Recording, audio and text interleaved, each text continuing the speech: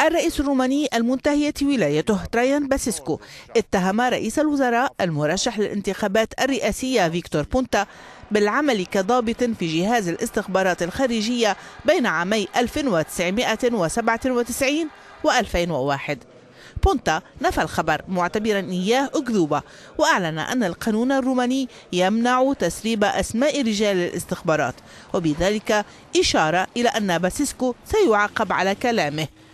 هذه الاتهامات تأتي في خضم الحملات الانتخابية للمرشحين وذلك قبل ثلاثة أسابيع من الدورة الأولى للانتخابات التي لم يستطع باسيسكو الترشح لها لولاية ثالثة على التوالي.